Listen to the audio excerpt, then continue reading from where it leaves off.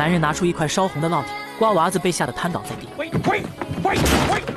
他叫吉姆，因为体型瘦小，经常挨欺负。不过这次男人可不是来欺负他的，而是要给他印上一个护身符。只要拥有这个印记，那就是黄石的家人，以后再也没人敢欺负他。听到这儿，吉姆扯开大脖领子，男人也是毫不留情，用尽全力怼了上去。好家伙，一股了猪毛味儿。随后，男人拿出一盒药膏，让他明天去农场报道。第二天一早，吉姆来到黄石农场报道。农场主老约翰为了让他更像牛仔，特意给他安排了一节牛仔速成课。殊不知这就是个坑，因为老约翰已经被这匹马摔了无数回。他得出一个结论：这不，几人将吉姆的手脚绑得严严实实，顺便告诉他千万别松开这个绳子。接下来就是一段闪断腰子的精彩表演。黄石的人就是这样，印有烙印的只有他们自己可以欺负，外人想动他分毫都不行。当天晚上，吉姆回到宿舍一动不动，那脚丫子属实让人睁不开眼睛。室友让他去洗，可他连抬手指头的力气都没有。Hey, man.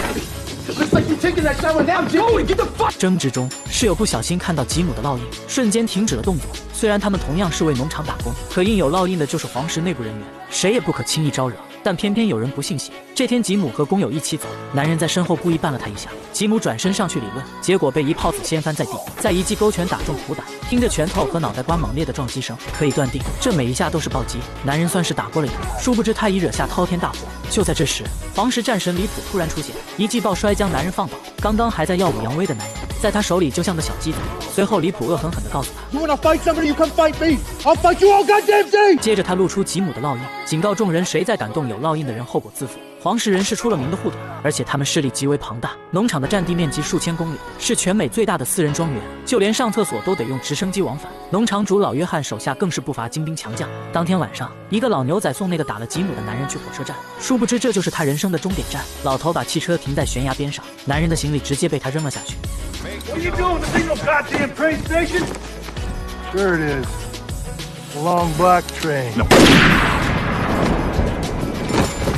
第二天，吉姆带着女友来到酒吧。这小子可能天生自带挨揍体质。有人想撩他女友。Fuck off!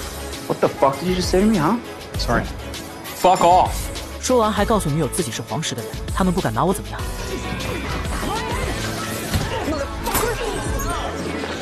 屋内的队友看到吉姆被欺负，纷纷上前帮忙。无奈对方人多势众，几人被一顿砍瓜切菜全部放倒。回到农场。看着几人被打得鼻青脸肿，凯哥简单问了下地址，转身叫上黄石战神离谱。这个场子今天必须找回来，这也是黄石人的宗旨，报仇从不隔夜。他们将卡车顶在酒吧门口，放出后备箱的大黑牛。好家伙，只听屋内求救声和骂声连成一片。离谱则带着兄弟们堵在门口。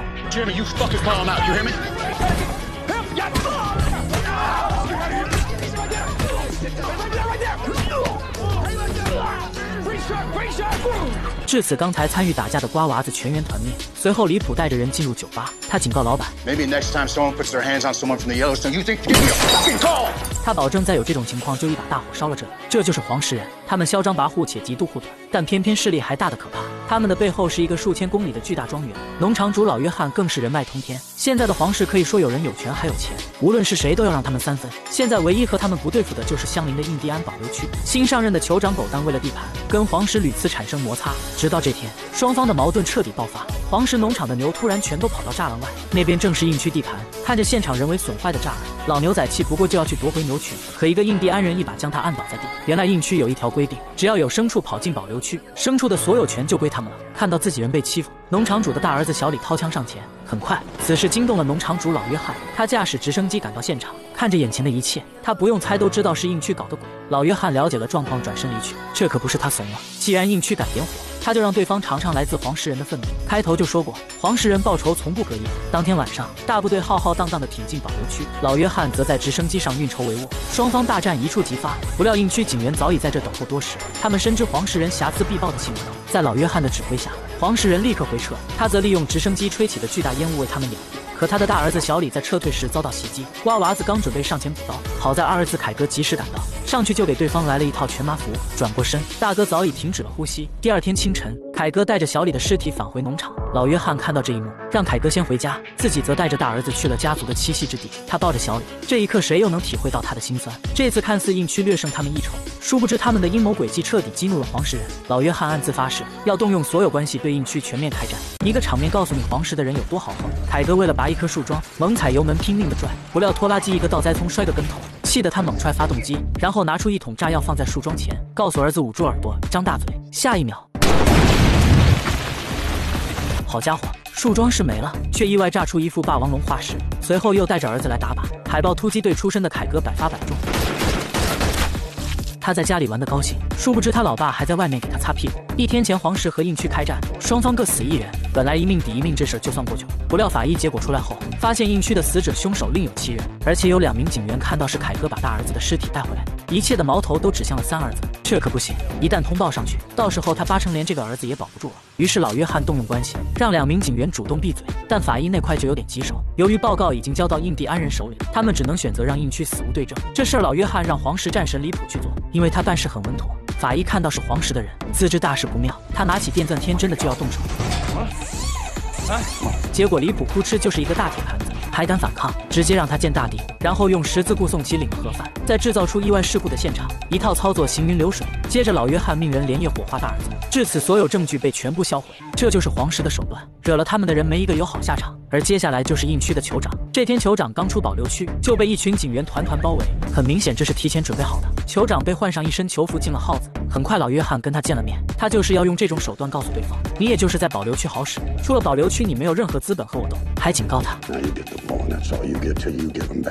酋长无所谓的笑了笑，他表示牛群可以给你，但等你死后，你的子女付不起高额的遗产税的时候，我就会出手买下农场，推倒所有栅栏，让你和你家族的痕迹彻底消失，就像当初你们赶走印第安人的样子。老约翰不在意的告诉他，如果不还牛群，你就待在监狱发挥想象力吧。话是这么说，但他出门就联系了高层人物，为了黄石的未来，他必须要制定一个长久的策略。第二天清晨，印区就把牛群原封不动的送了回来，酋长也恢复了自由。黄石的人就是这样，表达愤怒的方式很直接，也很特别。这天，凯嫂走进一家白人服装店，一进门，金发妹就因为她的肤色一直盯着看，殊不知就是这个眼神，一会儿就让他付出惨痛的代价。看到保安守住门口，作为顾客没有得到应有的尊重，凯嫂转身准备离去，不料金发妹怀疑她偷了东西，将其叫住，还让店员报了警。凯嫂见状，掏出手机拨通了大姐贝斯的电话。Hi，I need help.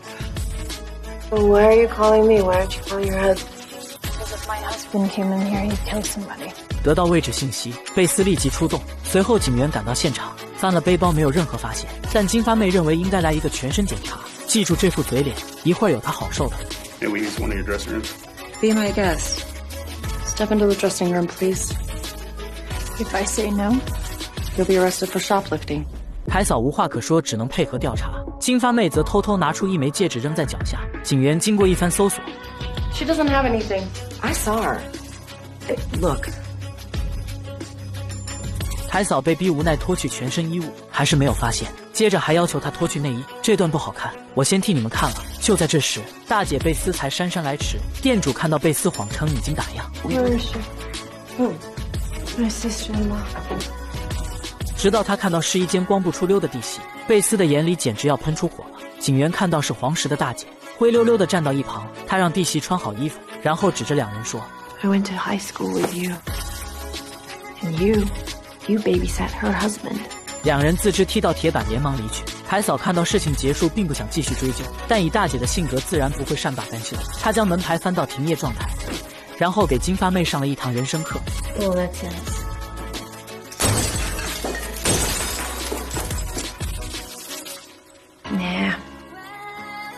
接下来的操作简直让人心旷神怡。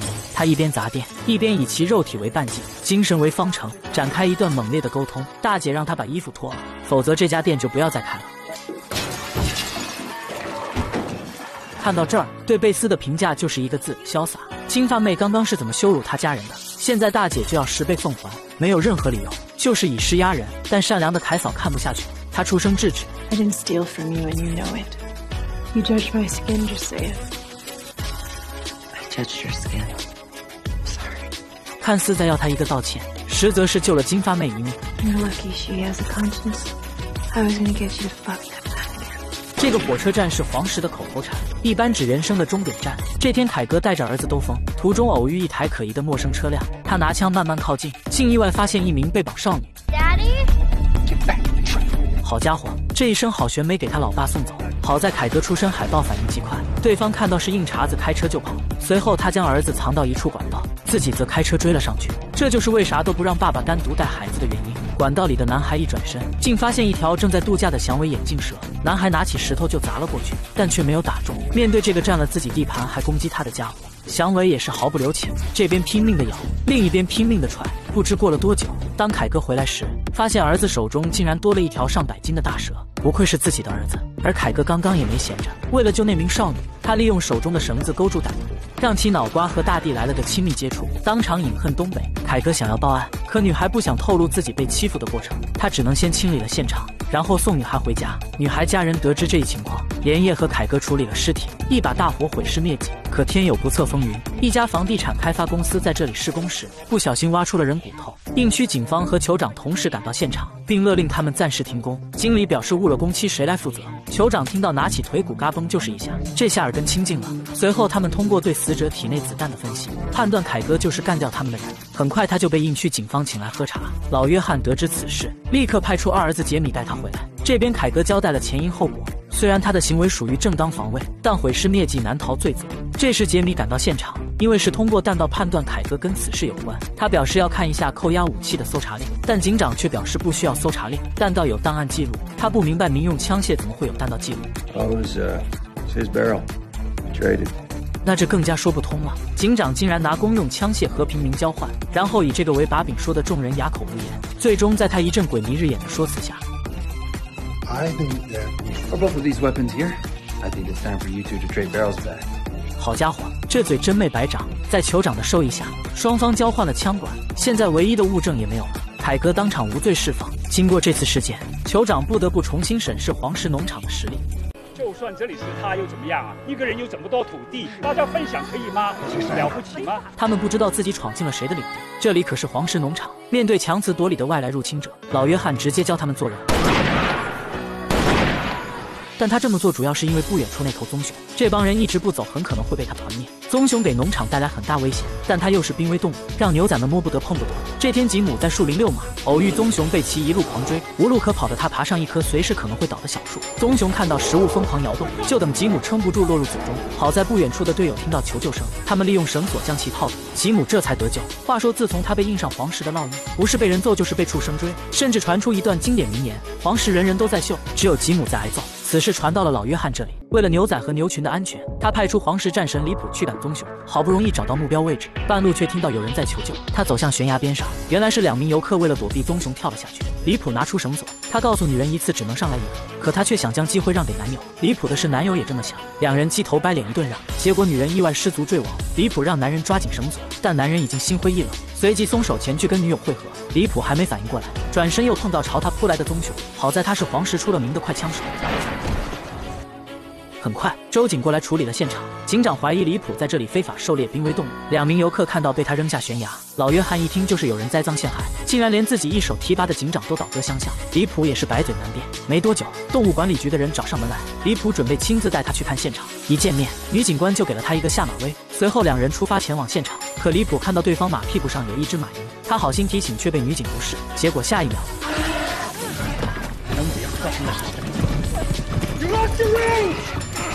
李普连忙追了上去。当他找到女警时，他已经被摔到地上，身体也被栅栏洞穿。这下事情麻烦了，他绝对不能死在这里，否则自己就算跳进黄河也洗不清了。他立刻呼叫农场派来直升机，为了防止造成二次伤害，李普剪断铁丝网放走小马，然后抱着女警将栅栏连根拔起。剧烈的疼痛让他不得不相信眼前这个男人。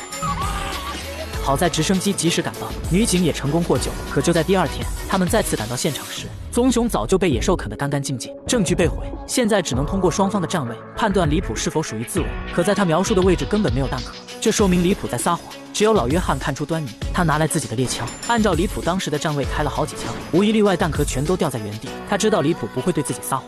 细心的老约翰看到警长的手不太自然，于是让其掏出兜里的东西，果然是离谱掉落的子弹。警长见状，谎称自己忘记了。动物管理局的人判定双方距离构成正当防卫，但警长却依旧不肯罢休。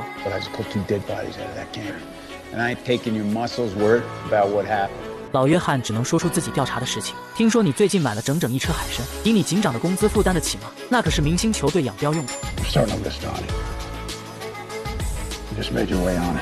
老约翰有些无奈。自己亲手培养的人竟敢背叛自己，看来他必须做一些事情，让人们重新认识一下黄石了。一群机车党正在开 party，黄石牛仔告诉他们这里是私人农场。可大胡子却毫不在意，反而还嘲讽他们是一群乡巴佬。他们不知道，就是因为这句话，自己将要付出血的代价。双方一言不合就开干，但因为人数上的劣势，黄石的人很快落入下风，被一顿拳打脚踢。这时战神离谱碰巧路过这里，看到队友被一群人蹂躏，暴脾气瞬间上头。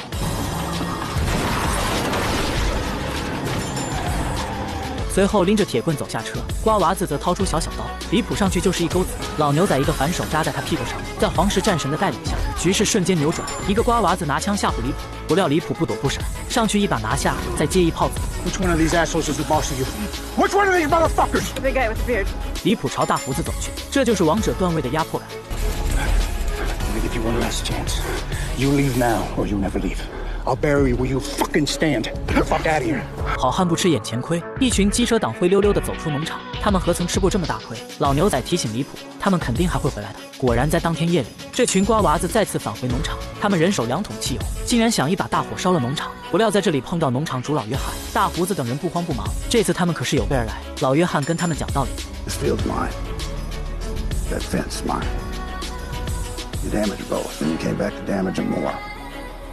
This is my home. If I did this to your home, what would you do? Well, I'd kill you. 话音刚落，一道道亮光从四面八方传来，黄石牛仔们手持加特林将他们包围，老约翰则是拿出早就准备好的铁锹。Man said if you didn't leave, we'd bury you here. And you didn't leave. We keep our word in this valley. 大胡子后悔了，可现在想走太迟了。老约翰让他们自己动手挖坑，看着时间差不多了。All right, that's enough. Nobody said get out. Yeah, not much point now.” 大胡子蒙圈了，他连忙求饶，自己上有老下有小，请大佬高抬贵手。老约翰自然不会跟瓜娃子一般计较。然而，拥有全美最大的私人庄园，麻烦事远不止这些。相邻的印第安保留区基于黄石农场这块宝地，酋长主动找到地产开发商丹哥进行合作，表明要在黄石农场附近开发赌场、商场和高档别墅，他可以提供运转资金，这样就可以提高农场土地的价格。到时候高额的税金就会拖垮老约翰。但酋长属实小瞧了黄石的手段，他们的狼子野心已经被实时监听。老约翰得知这一情况，给战神离谱下达了一个命令。These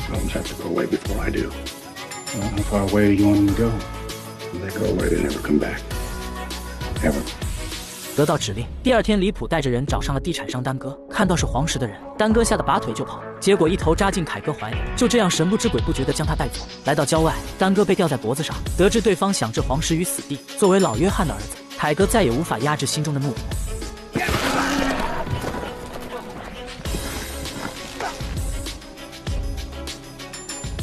大姐夫离谱武力值爆表，在这个以武为尊的西部，他就是神一样的存在。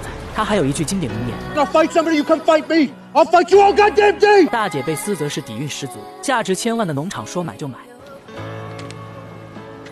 Now get out of my house. 就是这样一对人人都羡慕的神仙眷侣，可大姐夫最近却有了烦心事，因为他发现新来的牛仔三番五次找贝斯玩游戏。头顶大草原的离谱为了农场和平忍气吞声，但他发现自从两人好上，这个小胡子就多出一股优越感。帮吉姆报仇的时候，所有牛仔都动了手，只有他在一旁运筹帷幄，还有维修栅栏自己都在干活，他却在一旁修指甲。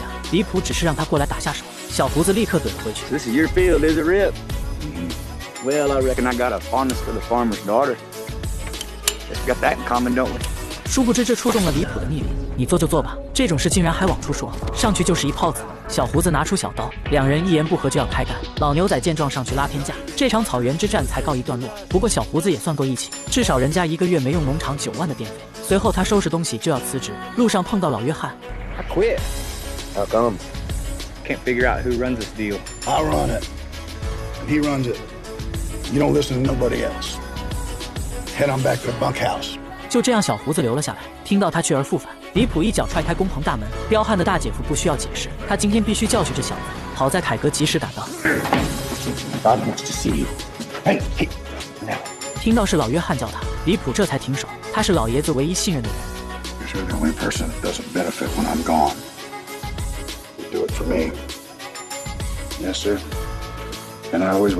为此，老约翰请他教凯哥管理农场。在此之前，农场一直都是大姐夫管理，但他很快就摆正了心态，毕竟凯哥才是他的亲儿子。当晚就拿着行李和凯哥互换了宿舍。他主动来到工棚居住，一时间众人有些蒙圈，因为在他们的认知中，离谱在农场的地位仅次于老约翰。第二天，牛仔们聚在一起放牛，大姐夫故意挑衅跟他有过节的小胡子，两人在丛林中你追我赶。小胡子技不如人飞了出去，眼看他就要命丧马蹄，凯哥及时出现拦下离谱。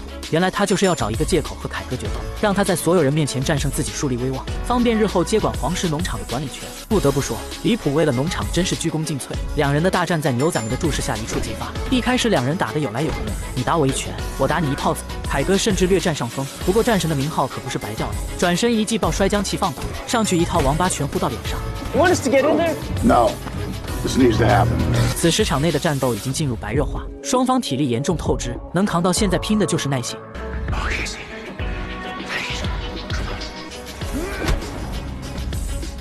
凯哥赢了，因为结局早已注定。老约翰也不得不默默低下头。随后，凯哥说出了黄石的经典名言 There ain't no fighting on this ranch.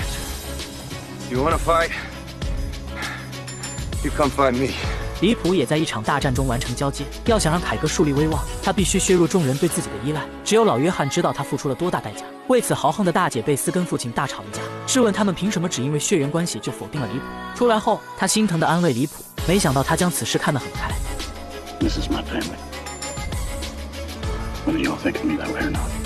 这又何尝不是现实中没有背景的你？无论付出何种努力和真心，上位者只需要一句话就能否定你的一切。男人走在大街上，两个瓜娃子上去就要过路费，看到自己被无视，一把打飞了男人的帽子。殊不知，就因为这个举动，两人搭上了小命。吉姆转身就是一记摆拳，趁着对方没反应过来，立刻回到车上，并让队友赶紧开车。不料瓜娃子还是追了上来。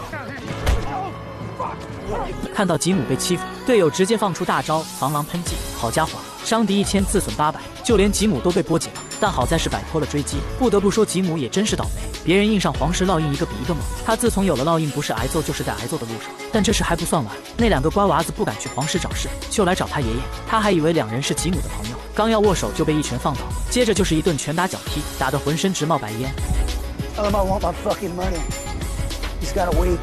第二天，爷爷颤颤巍巍地站到吉姆面前。How much do you owe?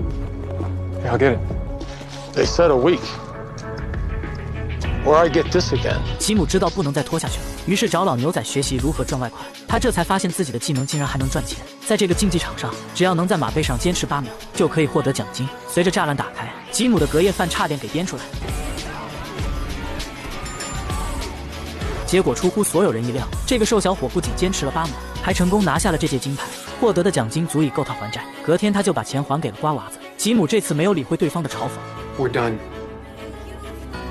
Leave my grandfather alone. 但因为上次队友喷了他们一脸防狼喷剂，瓜娃子要他那块奖牌当做补偿，吉姆只能选择息事宁人。可让他想不到的是，这天爷爷还是出事了。警员找到吉姆，便问道：“你爷爷最近是不是遭到袭击了？”他大脑中一条血管破裂，导致当场去世。听到这个噩耗，吉姆气疯了，自己拿了钱，他们竟然还要动手。他拿出猎枪就要去报仇，路过的离谱将他拦住，并让他冷静一点。想要报仇也不是这个方法。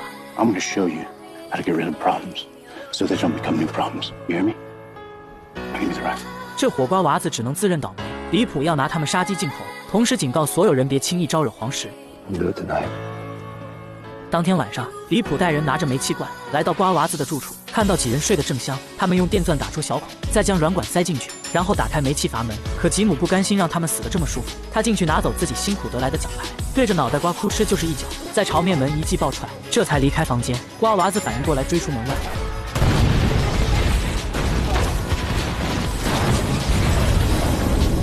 这就是黄石的手段，他们报仇从不隔夜。然而偏偏有人跟他们过不去，农场也迎来有史以来最大的危机，一夜之间损失数百头牛，农场的利益遭到破损。这是什么情况？老约翰竟然让手下一把大火烧了自己的农场，农场可是他的命根子，看得出来他的心都在滴血。此时，老约翰下定决心，一定要揪出幕后黑手，给黄石祭旗。原来就在一天前，农场空降无数草料，牛子一看不吃白不吃，哭哭就是一顿炫。第二天，凯哥像往常一样巡视农场，竟然发现一头公牛好像快要生了，感觉到不对，几人连忙上前查看。离谱拿出小刀轻轻捅了一下，结果那场面就跟喷泉一样，很明显是得了胀气。What's shouldn't. 可问题来了，牛群都是他们精心喂养，怎么可能出现胀气？就在几人疑惑时，凯哥发现前方惊人的一幕：Oh my god. 农场的牛群竟然在一夜之间全都死了。老约翰得知这一情况，立刻赶了过来。经验丰富的老牛仔找到原因，农场里竟然出现了苜蓿草。牛子一旦吃了这种草，得不到及时救治，就会胀气而亡。虽然现场没有留下证据，但老约翰心里已经有了怀疑的目标。很快，警长带队赶到案发地，他发现周围没有轮胎的印记，而且围栏又离得很远，以人力根本不可能扔过来。唯一的途径就是通过飞机进行投放。老约翰怀疑是丹尼尔干的，一是他有这个能力，二是因为他和印第安酋长一直对黄石农场虎视眈眈，而且两人现在正举行动土仪式，准备在黄石农场周围建立高档别墅和赌场，以此提高农场的土地价格。企图用天价税金压倒黄石，老约翰自然不会坐以待毙。他让警长授权凯哥携带枪支，然后交代两个儿子。You find the evidence. When he does, drag him by the hair back to me. 但现在首要的问题是处理苜蓿草。为了防止他们在这里扎根，老约翰当天晚上就让手下一把大火烧了农场。看着传承了上百年的土地，他的心都在滴血。既然有人敢招惹他们，那就准备好迎接黄石人的手段。隔天，一名警员就堵在了丹尼尔家里，对方看到情况不对，立刻掏枪。就在双方对峙时，凯哥从天而降，一招制服了丹尼尔。海豹突击队出身的他，要用自己的方式对其审问。不料他前脚刚上楼，丹尼尔的贴身保镖就假装维修工靠近，警员刚放松警惕，就被一炮子放倒，接着将其扔进后箱。屋内的丹尼尔一直说话吸引凯哥的注意，但他属实低估了凯哥的实力。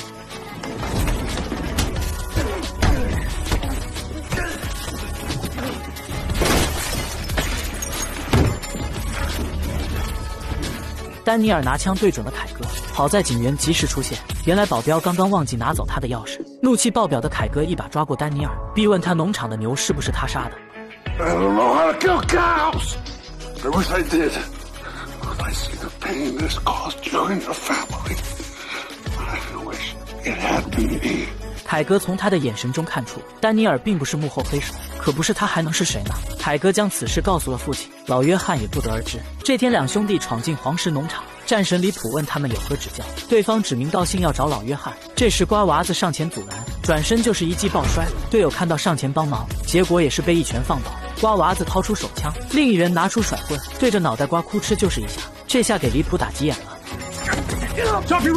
就在双方对峙时，老约翰替他解了围。通过了解，原来两兄弟是来找他谈合作的。因为印区酋长和开发商丹尼尔要在附近建赌场，他们也想分一杯羹。得知对方的意图，老约翰果断拒绝。他知道贝克兄弟的口碑，跟他们合作的人没有一个落得好下场。两兄弟吃了闭门羹，转身又找到印区酋长，要求在建设的赌场内放置老虎机，达到双方共赢的效果。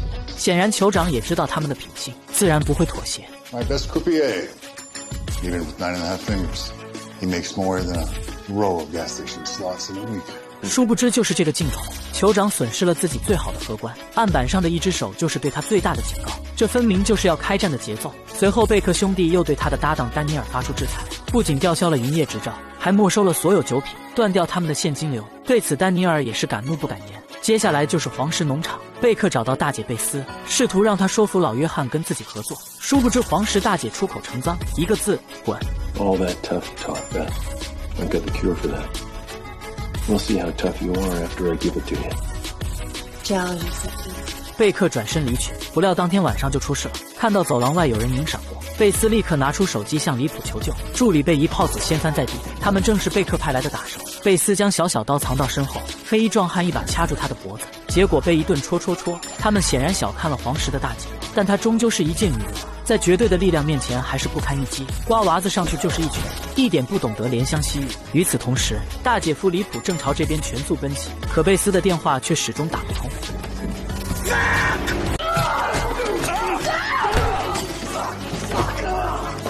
就在刚刚，两个蒙面人突然闯进办公室。贝斯见状，马上向李普发出求救信息，随后拿走水果刀藏在身后。歹徒进来后，一把抓住他的脖子。下一秒，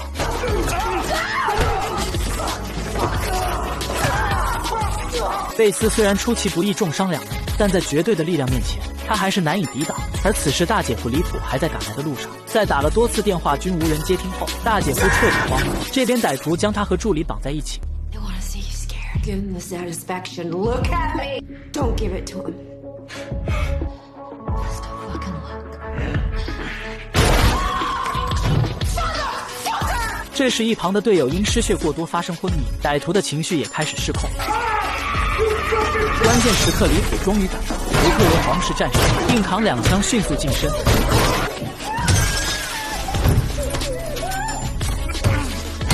很快便结束了战斗。迪普忍着疼痛打电话求救，愤怒的大姐直接拿起烟灰缸将歹徒的脑袋瓜砸得稀巴烂。很快，老约翰带人赶到现场。在商业利益的斗争中动了他的家人，这无疑是在挑战他的底线。经过调查，老约翰得知之前的牛群死亡事件也是贝克兄弟搞的鬼。如今新仇加上旧恨，接下来老约翰要让两兄弟血债血偿。于是第二天一早，贝克老大就收到了一份大礼，手下被杀。贝克得知事情已经败露，于是决定一不做二不休，他们要从老约翰最爱的人开始下手。与此同时，老约翰将酋长和丹尼尔约到农场。由于贝克兄弟对三人造成不同程度的损失，三人决定搁置纷争。一致对外，可就在当天晚上，老约翰的孙子突然失踪，黄石全员出动展开地毯式搜索，整整找了一晚，凯哥也只找到儿子的一只鞋。很明显，小凯是被人绑走了，而贝克兄弟的报复才刚刚开始。画面一转，丹尼尔的保镖被无声干掉，杀手正要打开门锁，碰巧被屋内的丹尼尔察觉，意识到危险，他连忙拿出手枪躲进衣柜，随后杀手逐步向衣柜走来。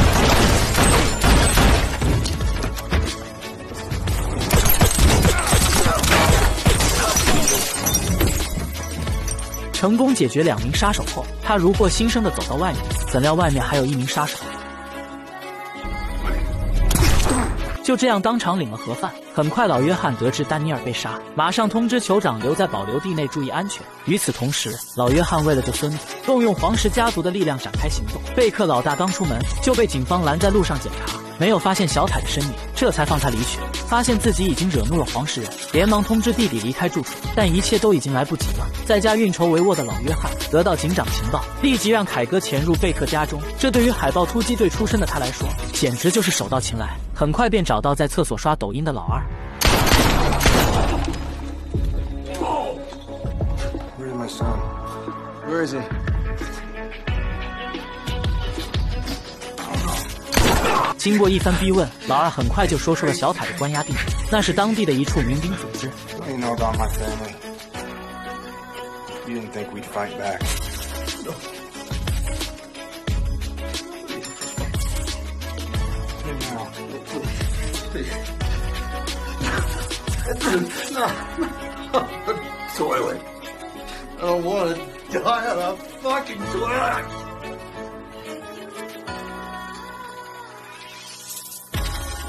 但这可由不得他。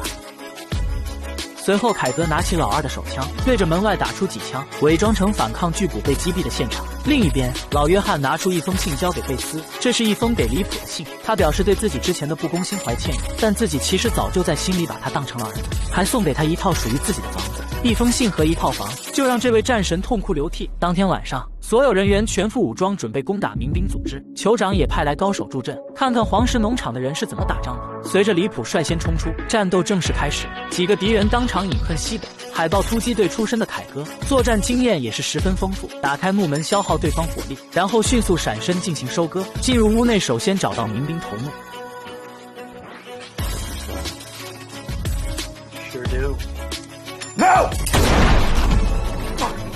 这下线索又中断了。幸好老约翰在外面发现逃跑的贝克老大，面对伤害自己家人的罪魁祸首，他绝不会手下留情。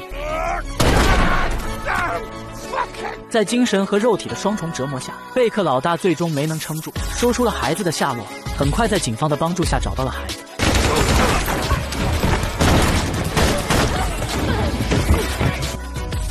最后，在卫生间浴缸里找到孩子，除了受到点惊吓，身体没有任何伤害。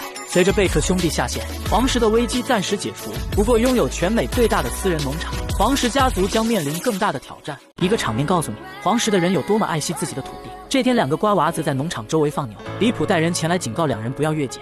Yeah, well, I don't want my cattle getting brucellosis from them fucking things. Keep your cattle on your side of the fence.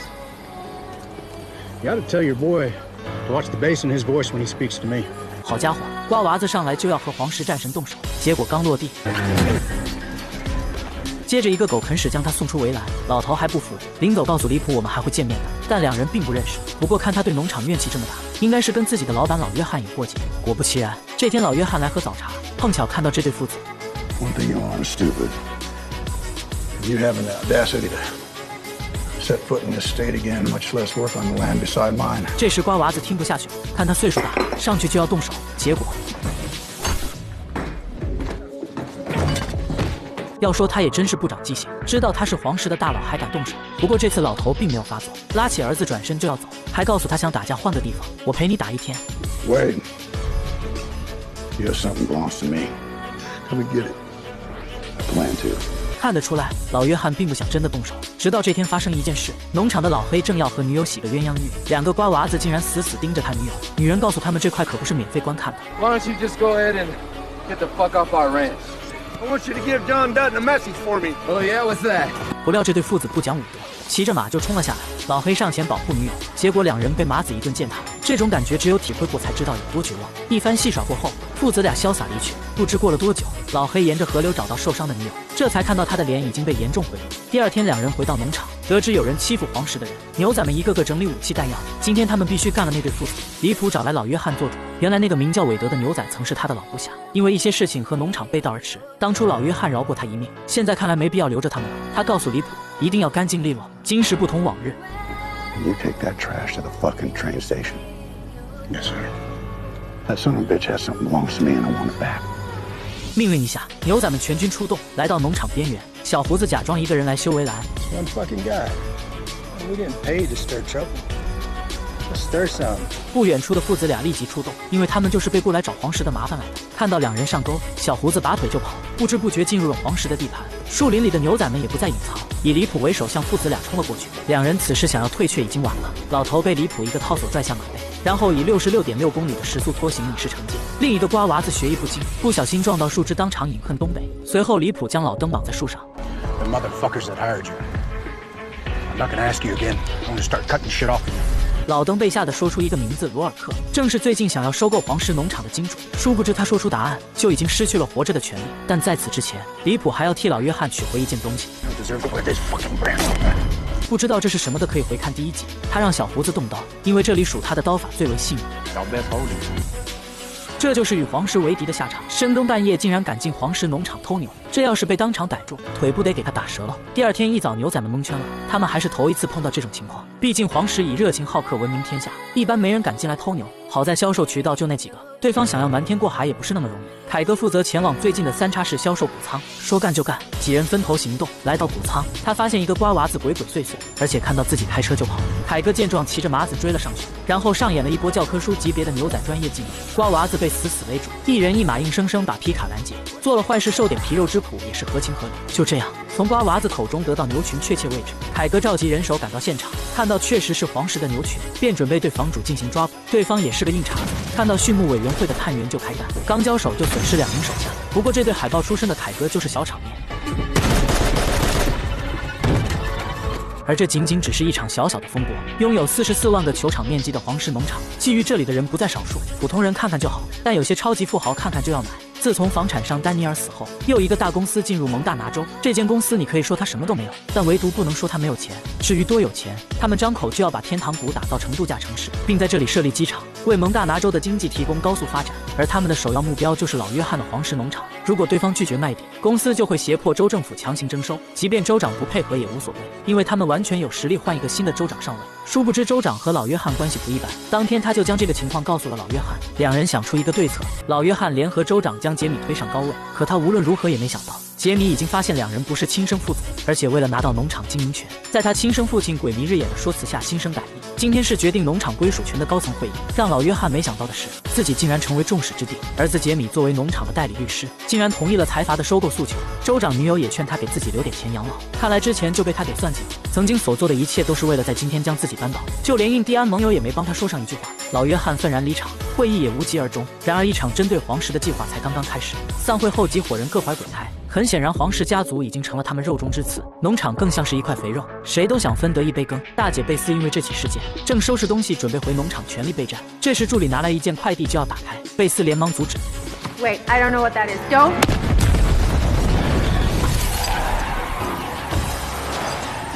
与此同时，凯哥正在给妻子打电话，突然办公室外传来一阵密集的枪声。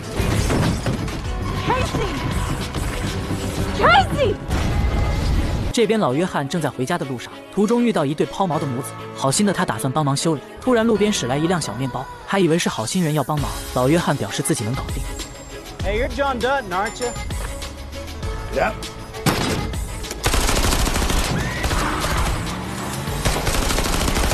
看来对方是想将皇室家族斩草除根。这边李普正准备向大姐贝斯求婚，可打谁的电话都打不通，无奈他只能打给杰米。但杰米这样告诉他：“Rip, I don't think you should call me anymore。”李普感到一丝不对，连忙往农场赶去。另一边，老约翰身中数枪，但好在胸口的电话帮他挡下致命一击。随后在地上写下行凶歹徒的特征。就在失血过多之际，战神李普及时赶到救下老约翰。凯哥这边也是有惊无险，干掉了瓜娃子。只有大姐贝斯生死未卜，对方竟然敢这么光明正大对付农场，他们就让对方知道什么叫做热情好客的黄石人。Hey, you're John Dutton, aren't you? Yep.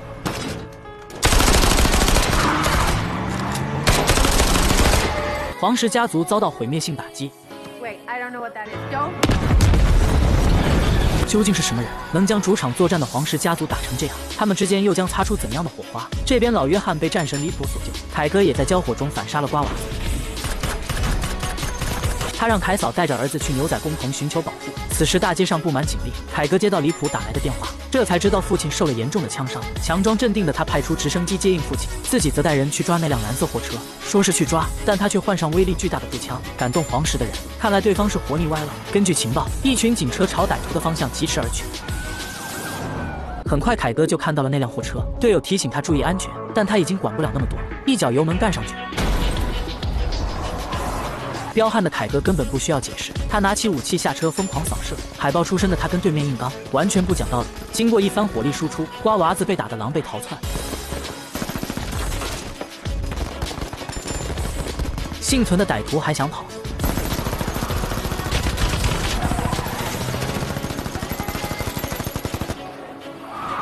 至此，伤害父亲的歹徒被全部歼灭，但他也身中数枪，倒在地上。另一边，凯嫂正准备带儿子离开，不料瓜娃子早已等候多时。他拼命挣扎，可惜凯嫂是皇室唯一不会打架的人，眼看就要饮恨东北。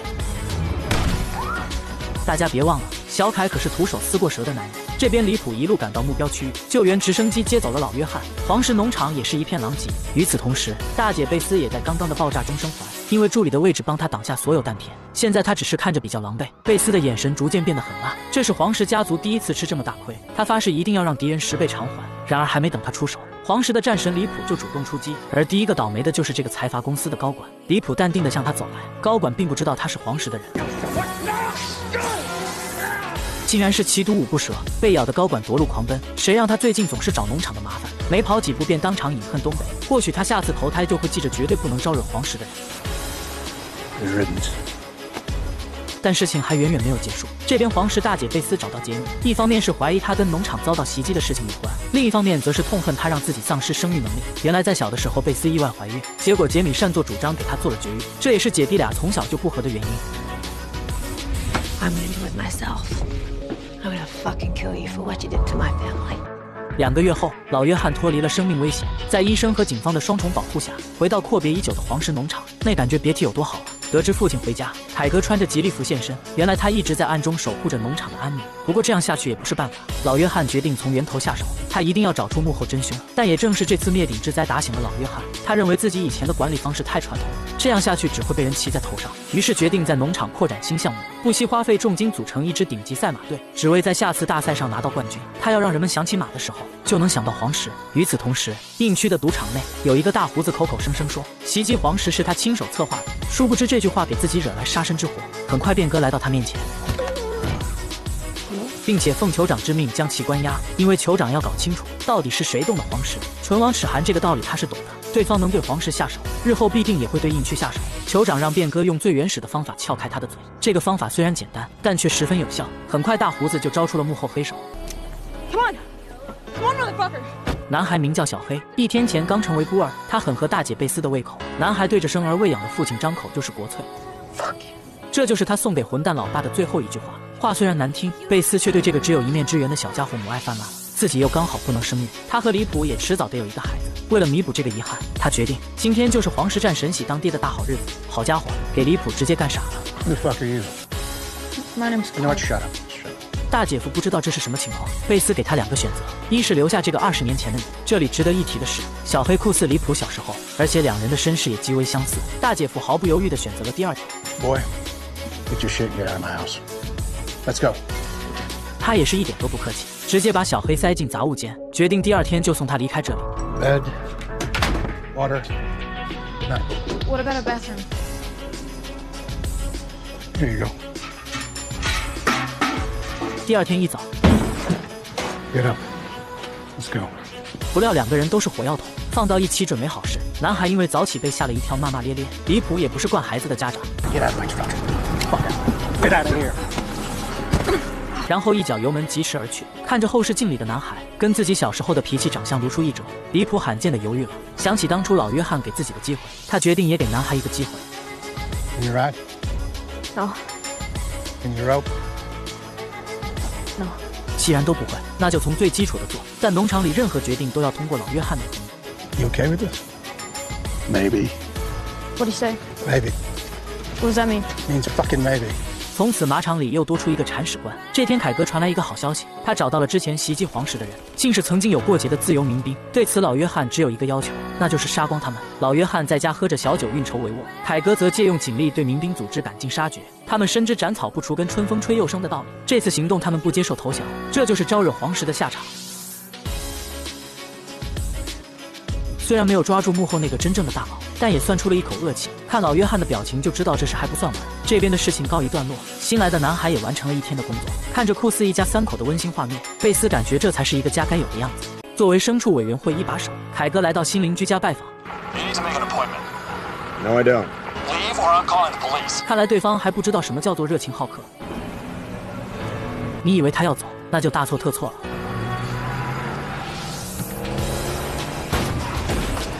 看到新邻居，凯哥一记黑虎掏心将其放倒，拿着套索直接捆住双手，随后接起正在拨通的报警电话。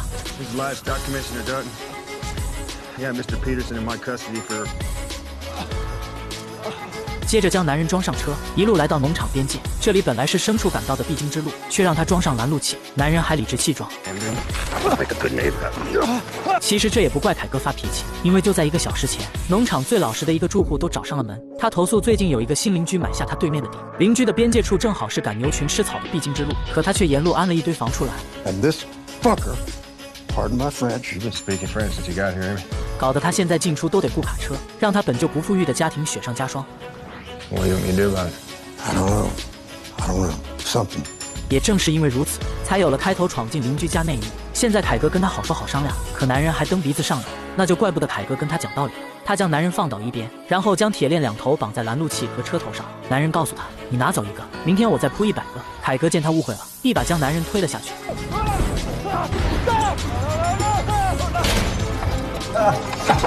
Like your cannibals so much. You fucking live in them.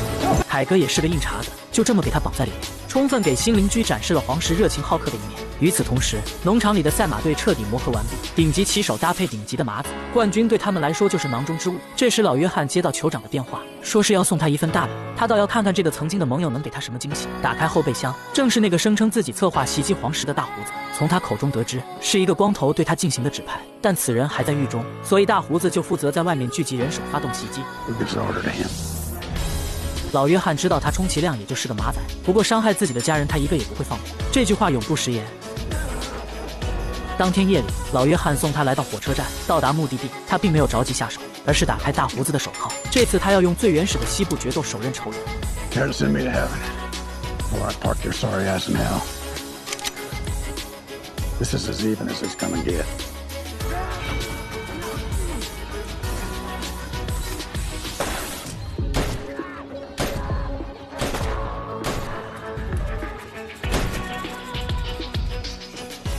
Fuck you. All right. I love you. I see at the house. Fuck you. All right, baby. 此时战神离谱就像个傻小子一样乐个不停。大姐贝斯也是无时无刻不在散发着个人魅力。她生活中如此，工作中亦是如此。热情豪放的贝斯是当之无愧的金融一姐，她的才华就连对手都由衷的赞叹。I think she can make Montana the fastest growing state in the nation. Behind every milestone of human history stands a monster, and that's our monster. 面对背叛过自己的合作伙伴，他不会隐忍。Retire before I take everything you fucking have. I'm the bigger bear.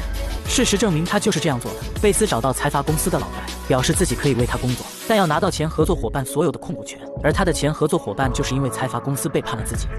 You're going to fire him. I'm going to bankrupt him first. I want his fucking grandchildren on welfare. You break your word to me, Maybe I'll do the same to you. 老白也是十分欣赏这位天之骄女，索性答应了贝斯的要求。毕竟那个老头今天能背叛贝斯，明天就能背叛自己，这样的奸商不要也罢。还未上任，贝斯就开了七个小时的车，闯进前合作伙伴的办公室。That's my seat. Your seat. Mm-hmm. I am the new president of Market Equities, Montana Division. I oversee all new development. Their interest in Schwartz and Meyer. They're controlling interest, Bob. Yeah. You bet on the wrong horse. 这就是性格豪迈的大姐贝斯。如果你对她好，她会记你一辈子。但你要敢玩阴的，就别怪她用尽手段让你倾家荡产。当然，他这么做也不仅仅是为了报仇。贝斯想通过介入财阀公司，替父亲守护黄石农场的每一寸土地。与此同时，黄石农场的赛马队在大赛中拿下金牌，一时间黄石的名声大噪。毕竟拥有这支顶级赛马队，就是想输都难。可老约翰现在的注意力都在报仇上。上次黄石家族差点遭遇灭族危机，现在他缓过劲来，下定决心要将仇家斩草除根。按照之前酋长给自己提供的线索，这个光头就是指派雇凶的人，而且他的后面还有高人指使。但此人还在狱中。老约翰决定让凯哥去找杰米帮忙，一是让杰米想办法问出幕后真凶，二是测试杰米的心是否还在黄石。If he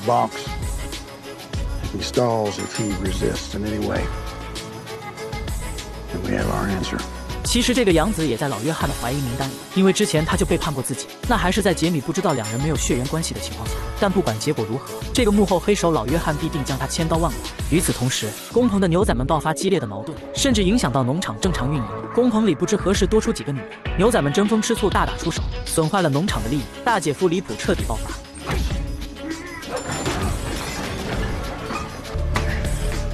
There's no fighting on this ranch. You want to fight somebody, you come fight me. I'll fight you all fucking day. 如果要问谁是皇室最猛的男人，毫无疑问，那必定是战神离谱。狂野的外形加上爆表的伤害，他的经典名言是：You wanna fight somebody, you come fight me. I'll fight you all goddamn day. 农场主老约翰对他如同亲生儿子，离谱也是忠心耿耿。任何有损农场利益的事情，他都会第一时间出手，即便是老朋友也不例外。You listen to me. You move those fucking pears out. Do your fucking job. Go. 这里每个牛仔都不是善茬，想要管理他们，只能比他们更狠。这天工棚里，两个牛仔爆发冲突。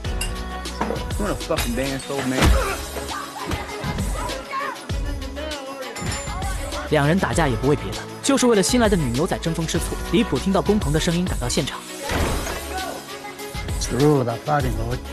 然而让他气愤的是，农场资历最老的，还是他最好的朋友，竟然带头闹事。上去哭哧就是一炮子，然后一拳打在腰子上，转身甩飞数十米。整个房间瞬间鸦雀无声。随后他拽起小胡子，There's no fighting on this ranch. You wanna fight somebody, you come fight me. I'll fight you all fucking day. 本以为事情到此结束，可他实在小看了女牛仔的魅力。看着俩人卿卿我我，老牛仔气就不打一处来。他一把抢过小胡子的吉他，哐哐就是一顿砸。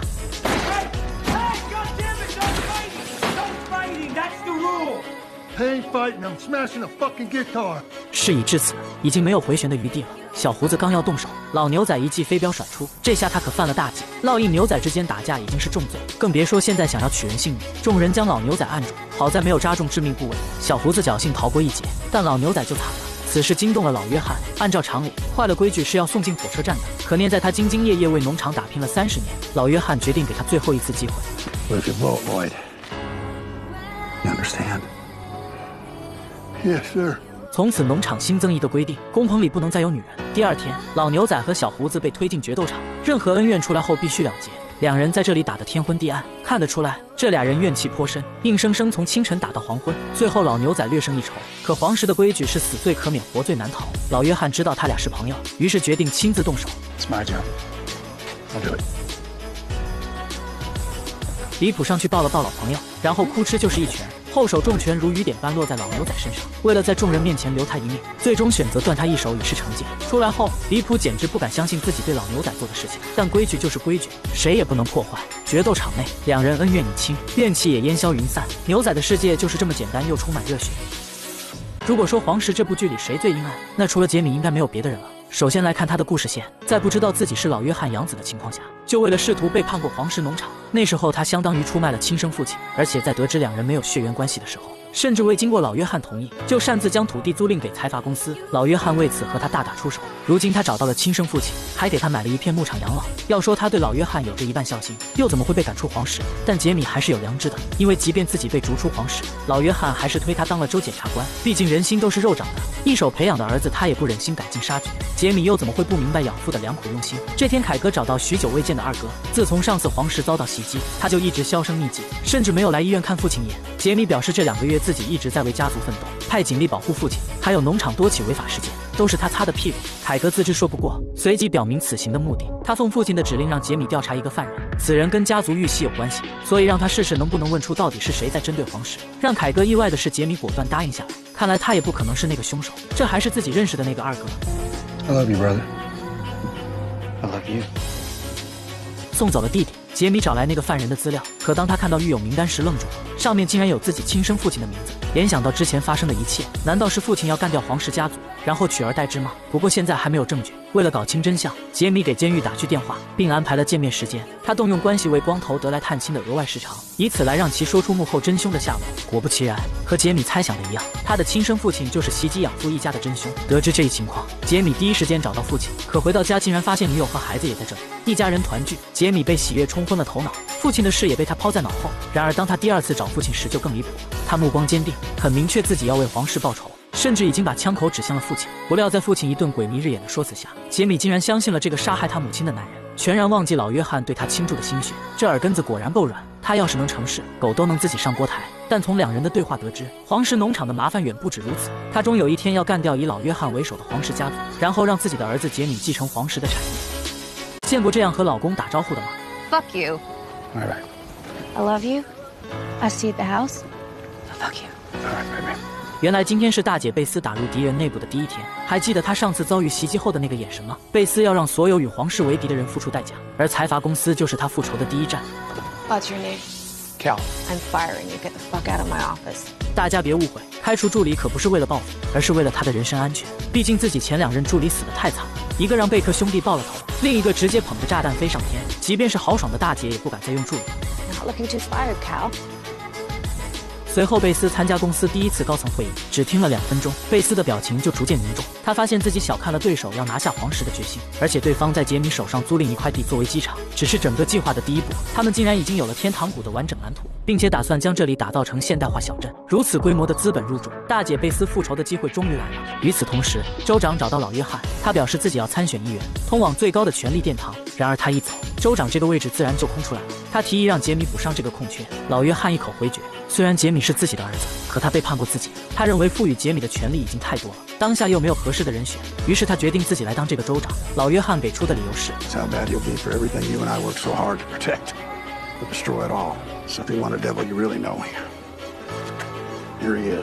全美一共也就五十个州长，而且就连总统也不能干涉州长的事务。由此可见，黄石的势力有多恐怖。不过，老约翰这么做还有另一层目的，那就是抵御财阀公司吞并黄石的野心。当贝斯听到父亲要竞选州长时，无比激动，因为他的计划就差一位掌权者的支持。一个州长足以让他们逆风翻盘。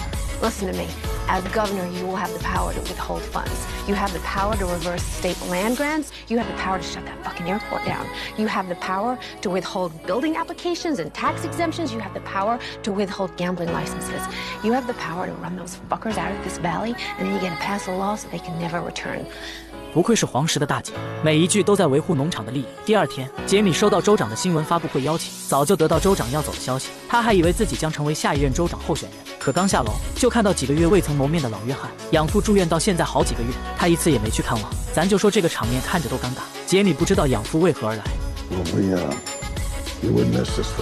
随后，州长宣布了下任州长的姓名。It is my great honor to introduce you to my choice as the next governor of Montana. John Dutton。杰米刚准备自信登场，可听到名字当场傻了眼。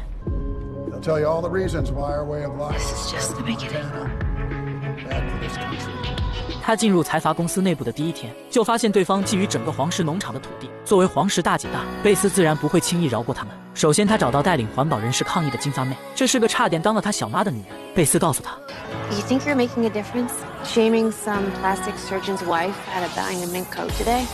Who does that say? Not Mick. Mick's already dead. 而且这种方法治标不治本，想要解决问题就要从源头下手。经过一番洗脑，贝斯给他指了一条明路：一家财阀公司正将附近的农场改成机场。如果施工完毕，数以万计的动物都会失去家园。就这样，在他的帮助下，环保人士来到施工现场示威，甚至爆发了激烈的肢体冲突，一时间被媒体大肆报道。财阀公司的高层认为，应该以毁坏私人财产对抗议者提起诉讼。可大姐贝斯哪会让他们轻易摆脱此事？他表示应该先赶走媒体，把这件事的影响力降到最低，然后再出动警力对抗议者进行抓捕，以最快速度恢复施工。老白认为他说的合情合理，便将此事交给贝斯去办。这点事对黄石大姐大来说就是小菜一碟，但他却要了一名女记者的联系方式。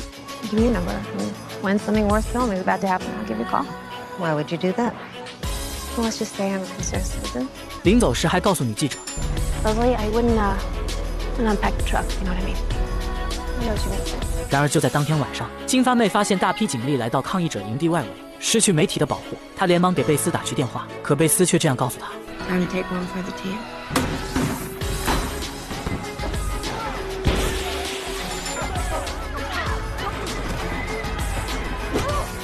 暴力持续了整整一晚，直到第二天，三百名抗议者全部落网。然而，正当他们要撤离时，大批媒体赶到现场。毫无疑问，这是贝斯的杰作。昨晚的暴力执法登上热搜，老白等一众高层全都傻了眼。与此同时，贝斯为了继续扩大舆论效应，打给外地的媒体朋友，因为一旦此事发酵成全国事件，财阀公司的施工必定会被干预搁置。只要拖到老约翰上任州长之后，主动权将牢牢掌握在他们手里。另一边，金发妹在贝斯的教唆下判了终身监禁，她无奈只能求助老约翰。两人毕竟有过一面之缘，他本来没必要管这些闲事，但因为贝斯是幕后指使者，老约翰只能动用黄石的力量，硬生生将刑期改为一年。虽然贝斯这么做是为了农场的利益，但他的做法却把老约翰惹毛了。What we do to our enemies, we do to our enemies. That woman is not our enemy. I do anything to hurt our enemies, Dad. If I hurt others, so be it. I don't care. I don't care if she dies in prison. I don't care if she gets out. I do not fucking care, okay? I care about you. I care about Casey. I care about Rip. 看得出来，为了皇室和家人的利益，任何人他都可以当做工具利用。这就是大姐贝斯的手段。你可以说她很烂，但不能说她无情。这天，老约翰准备去镇上找警长谈谈。 I know who tried to kill me. Sir, maybe the sheriff is who you should be talking to. Maybe you let me fucking handle it. I'd like to kill him myself, Rip. You're sitting in prison. With the sheriff right now to figure out how to make that life just a little shorter. 原来老约翰知道了自己遭遇袭击都是杰米的亲生父亲干的，可他却不知道此人已经出狱。结果刚到小镇，李普就发现情况不对。Hold it, sir. Hold it, hold it. 就在刚刚，他和老约翰正要去吃饭，大姐夫突然察觉到一丝杀气。Hold it, sir. Hold it, hold it. 只见餐馆里的人面面相觑，竟然没有一个在低头吃饭。看到如此反常，两人回到车上假装离开。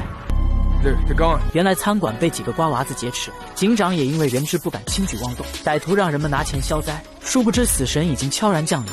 此时老约翰从后门进入厨房，这帮瓜娃子敢在自己地盘动手，真是活腻歪了。另一边，李普在外面吸引注意，警长见状偷偷摸向武器，下一秒。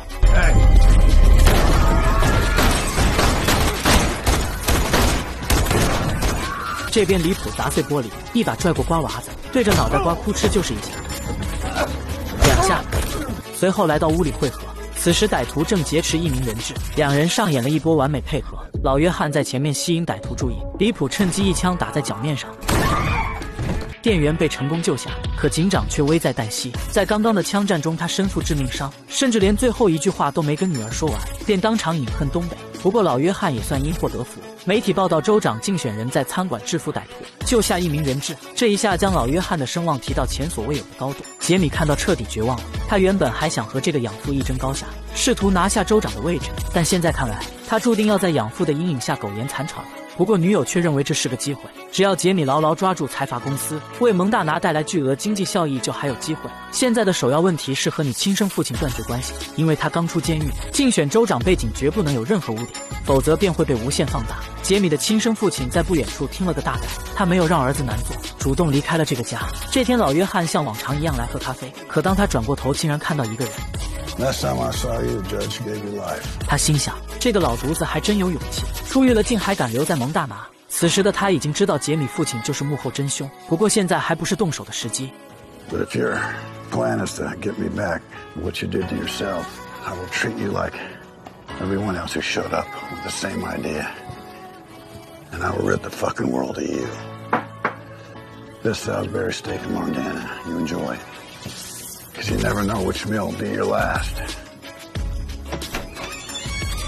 自从上次家族遭到袭击，贝斯便一直寻找线索。通过蛛丝马迹，他锁定到杰米的生父，但直接将其干掉又太便宜他了。他脑海里闪过一个疯狂的计划。这天，贝斯找到杰米，给他看点东西，迎头就是一个暴击。贝斯拿出手枪，告诉他：“I have done everything I need to do to never see this world again, Jamie. I am prepared. I will ruin your life today.” I swear to God, I'll fucking kill you. So just sit down me do it. 随后，贝斯翻出监狱里光头男的档案。杰米知道事情败露，因为只有光头男知道袭击黄石的是他父亲。结果还没等贝斯问他，Find out if my father was fucking involved. Was he? He he only admitted it once I held a fucking gun to his head. And when he did admit it, why didn't you blow his head off? 接着，他对杰米开始洗脑，在一顿鬼迷日眼的说辞下，杰米眼神开始迷茫，耳根子软就是他致命的缺点。贝斯给了他两个选择：一是他去告诉老约翰，然后打给州长逮捕你们父子俩；Your spineless woman murdering father will instantly say it was your idea. You know that, right? He will cut an immunity deal and he will testify against you. You will be charged with attempted murder times three. You will spend the rest of your life in jail. 紧接着，贝斯给了他第二个选择，就是将此事告诉黄石的战神李普，也就是她的丈夫， 还告诉他自己不能生育，全都是拜你所赐。No matter where you hide, he will find you, and he will tear you apart with his bare fucking hands. 说完，转身就走。听到离谱，杰米终于害怕了，他跪下求贝斯饶过自己，这也正是他想要的效果。贝斯给了杰米一条生路，那就是让他干掉自己亲生父亲。杰米也没让他失望，他找到父亲闲聊几句，然后，好家伙，为了生存竟然干掉自己的父亲。当天晚上，杰米来到火车站准备毁尸灭迹，可就在他拖着父亲时，Stop，turn around。这就是黄石大姐的手段，不仅让他杀了亲生父亲，还留下照片成为证据。Three's gonna be worse. What's your fucking mind now? 第二天，贝斯回到农场，老约翰一直在外面等着他，因为他也是后来才反应过来贝斯为何着急结婚，肯定是知道了凶手跟杰米有关。虽然这个儿子不称职，但毕竟是自己一手带大的。Did I lose a son today? He was never your son. He is a disappointment and my greatest failure, but I, I raised him and I love him as much as I've tried not to. So just answer the question: Do I still have him? Yeah. But now you own him, Daddy. 老约翰得到答案，第四季也来到尾声。这一季留下很多伏笔。黄石第五季震撼来袭，这一季依然没有让大家失望。一经推出，评分瞬间飙到九点一，直接锁定为二零二二年西部类美剧天花板。接下来正片开始。Allow me the honor of introducing your next governor, John Dutton, and U.S. Senator Linnell Perry. 这也是填了上一季的坑。老约翰以保护蒙大拿原生态的口号，一举拿下州长的位置，而上一任州长成功进入参议院，成为老约翰的中坚力量。大姐贝斯则是利用手段控制了杰米，迫使他一心一意为家族服务。这也是他来宣布老约翰任职开场白的主要原因。随着权力更迭，来到蒙大拿准备一展拳脚的财阀公司懵了，因为他们要拿下的土地正是现任州长老约翰的黄石农场。And now he's governor.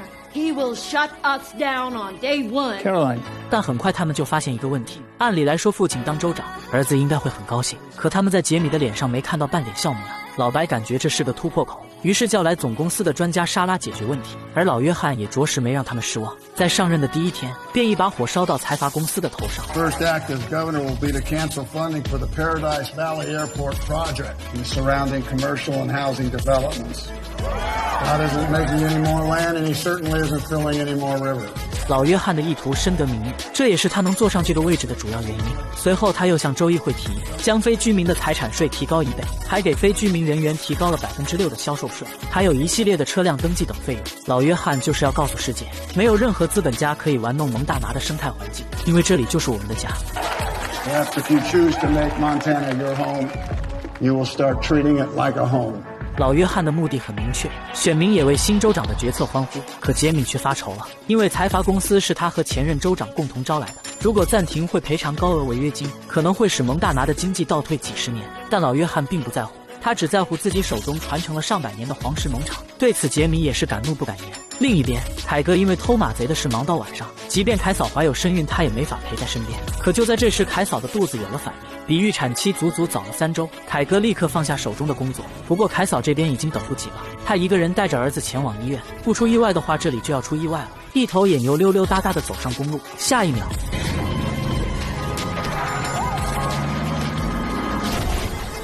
因为一场车祸，他失去了还未出生的儿子。凯哥很自责，如果自己在家，绝对不会发生这样的事。为了抚平凯嫂的伤疤，凯哥放下所有工作，在家陪着她。但他们拥有全美最大的私人农场，麻烦事远不止这些。由于老约翰赴任州长，黄石农场暂时交给大姐夫全权管理。最近他们发现农场里跑进几匹野狼，导致落单的牛犊子总被袭击，几人救下幸存的牛子。大姐夫命令牛仔们找到狼群并干掉他们。按照常规，这应该让牲畜委员会出手，但凯哥最近因为凯嫂的事极为伤神，大姐夫便决定自己处理这件事。这天，两名牛仔终于蹲守到可恶的狼群，他们看到食物一拥而上。Three, two, one。在两人精准的枪法下，分分钟就结束了战斗。可让他们无论如何也没想到，这群野狼脖子上竟然绑着定位装置。Fuck。这下麻烦了，这可是国家公园里的野生保护动物。虽然不知道他们为何会跑到这里，但现在的时机很不好，因为老约翰是以保护家园的口号成功竞选州长，结果现在野生保护动物死在他的农场里，这会对老约翰造成很坏的舆论。两人拿不准主意，于是叫来离谱主持大局。离谱想出一个两全其美的方法，他让两人拿下定位项圈，因为这东西十二小时没有移动便会上报有关部门。随后几人模仿狼的行动轨迹，一直走到天亮，来到瀑布旁边，将定位装置绑到树桩上，将它们扔到河里，这样便会一直保持移动。做完这些，几人安心返回农场。但这次幸运的天平并没有倾向黄石，带有定位的树桩还没飘出农场，就被障碍物挡住，这也给刚刚上任的州长老约翰带来巨大的麻烦。与此同时，毫不知情的老约翰公开签署了暂停天堂谷的所有开发项目，这才是他当州长的真正目的。杰米很不满养父的做法。因为这会对蒙大拿的经济造成巨大损失。By signing this order, you are signing a declaration of war. 他竟然敢质疑老约翰，大姐贝斯立刻给他上了一课。看来他忘记了自己反骨仔的身份。Just do as you're fucking told until these fuckers tuck tail back to New York, and then we'll just quietly put you out to pasture. 而杰米因为杀害生父让贝斯留下证据，现在的他哪还有一点州检察官的样子？Say yes, ma'am. Yes, ma'am。黄石的战神李普曾经说过一句话：他宁愿杀一千个人，也不愿打死一匹马，因为马子是他在战斗中最值得信赖的伙伴。可今天大姐夫却一枪干掉了老约翰的座驾，这究竟是什么情况？原来在农场主老约翰赴任州长后，黄石农场就交给了大姐夫处理。他收养的卡特每天负责给老约翰的马子遛弯，结果没注意地面，不小心踩进深坑，马腿当场饮恨东北。结果就发生了开头的一幕。Horse gonna be okay? No, we ain't. You shoot him? That leg will never heal. I don't need him suffer. 马子是人类最忠诚的伙伴，但你要是不小心让他摔断了腿，与其让他一辈子活在痛苦中，还不如给他一个痛快，尽早轮回。大姐夫没有去责怪卡特，而是用行动结结实实的给他上了一课。想当年老约翰也是这么对离谱的，现在他这么对卡特，自然也是把他当成接班人培养。然而相比于农场的生活，外面的世界简直乱到离谱。咱们先说说大姐贝斯这里。自从上次他窃取了财阀公司的情报，老白就发誓让他付出代价。与其等着报复，贝斯更喜欢主动出击。他直接找到财阀公司的死对头，利用手中的股权和对方谈判。虽然这个股权在他被开除后没什么实际意义，但要是把这个甩给对手，将对财阀公司造成巨大损失。而且这些股权可以控制天堂谷一大片土地。如果将黄石和这片土地加入保护法，财阀公司将损失至少十亿以上。依靠这些地皮，男人一年就能净赚几千万，无本万利的买卖谁会不干？当然，最重要的还是能重创财阀公司。贝斯这一手绝对能捅到敌人心窝子里去。另一边，财阀公司的老白找来专家沙拉，他反复观察州长上任的视频，发现杰米天生反骨，他判断此人就是他们打击达顿家族的突破口。但很快，一个不好的消息传来，老白因办事不力被总部召回。同时，董事会停止了对蒙大拿的投资。不过他并不甘心，临走前让手下通知莎拉，用尽一切手段毁了老约翰一家。很快，莎拉就找到了反骨仔杰米。这个女人不仅长得漂亮，城府也是极深。第一次见面，她闭口不谈公司的事，反而约杰米一天后共进晚餐。杰米也是被吊足了胃口。看来这是要放长线钓大鱼的节奏。与此同时，今天的农场格外热闹。原来是老牛仔迎来了五十八岁的生日。每逢这种特殊的日子，牛仔们才难得放松。李普和贝斯也来为好朋友庆生。不过贝斯今天完成了一件大事，决定自掏腰包带大家去酒吧潇洒一下。然而本应该是一个愉快的夜晚，却因为一个女人的出现被彻底打乱。I'm married, darling. Me too. Where's your wife? My wife is standing right over there, staring at you. I'll handle that.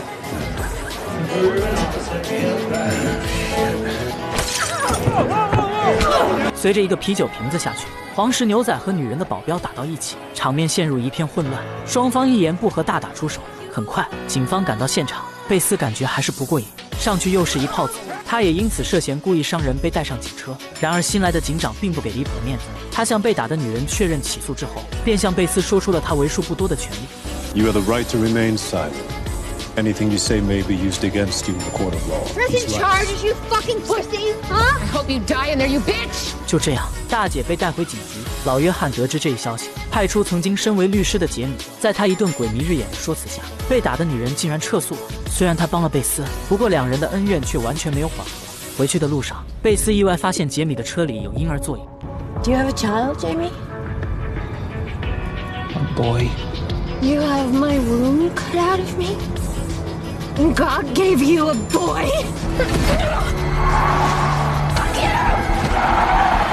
这次贝斯是真的怒了，他现在唯一亏欠的就是不能给大姐夫一个孩子，而现在给他做绝育的杰米竟然有了自己的儿子。无论杰米如何解释，暴怒之中的贝斯都听不进去。随后他告诉杰米，I'm gonna take him from you. I'm gonna rob you of fatherhood, Jamie. You don't deserve it. And he deserves better than you. Next time you see him, you can kiss him goodbye because he's as good as gone. 这次杰米是真的害怕了，因为他知道贝斯说到就会做到。看到这里四下无人，他闪过一个疯狂的念头。懦弱的杰米还是没能狠心下手。然而贝斯这边的事情虽然解决了，但这个全美最大的黄石农场麻烦是属实不少。凯哥和凯嫂按照印第安的习俗，找到一块风水宝地埋葬了他们还未出生的儿子。这边刚刚上任州长的老约翰也被警方找上了门。由于之前黄石的牛仔干掉几匹野狼，那个定位项圈也在农场区域被找到。警员告诉老约翰，他们可以睁一只眼闭一只眼，但定位项圈是一个环保组织安装的，他们肯定不会善罢甘休，并且让老约翰做好被抨击的准备。不过他并不担心，因为自己手里还有一张王牌，那就是之前入狱的环保人士。为了解决保护组织的问题，老约翰提前释放了金发妹，相信有他的帮助，猎杀野狼的问题也会迎刃而解。另一边，杰米和财阀公司的莎拉见了面，两人作为对立方，在这里做了深入且友好的交流。他们做梦都没想到，就在卫生间的外面，贝斯已经悄悄走到门前。他翻出莎拉的证件照拍了下来。可正当他回去查这个女人的时候，才发现莎拉的身份竟然是假的。对方这么急于接近杰米，看来必定是有所图谋。No. 黄石的大姐贝斯又又又动手了。这次的对手是父亲找回来帮忙的金发妹，两人又因何而战呢？原来她自从住进黄石农场，家里的气氛就显得十分尴尬，而且她还是个素食主义者，总是站在道德制高点评判他的家人。老约翰对他有事相求，没有吱声，但贝斯可不惯着他。One big happy family. And an assistant. And a hooker. 现在的气氛就像煤气罐，点一下就着，直到盖特端上晚餐。So, Gator, what did you kill for dinner this evening? 由于他不知道金发妹也要共进晚餐，所以做的都是一些肉类食物。老约翰不得不替盖特解围，让他以后安排一些素食来做。Give her what the horses. 随后，盖特拿来最后一盘烤鸭。Are you aware that ducks mate for life? Well, if it, I did kill both of them. If it 这下餐桌的气氛更加尴尬。为了让家人吃上饭，贝斯约金发妹出来散个步。出来后，他是一点都不惯病，来了一记先下手为强。金发妹也不是省油的灯，一个过肩摔放倒贝斯，然后用锁技将其死死勒住。但论打架，贝斯还没服过谁。这时候屋里的李普坐不住了，他倒不是担心贝斯，而是怕他失手把金发妹给打死了。此时屋外两人的战斗已经进入白热化，李普突然开口。Do you think that you're gonna beat the other one into respecting your opinion? 他本想劝两人停手，可看他们的架势，谁也没打过瘾。于是李普提出让他们有尊严的决出胜负。结果贝斯不讲武德，率先出手。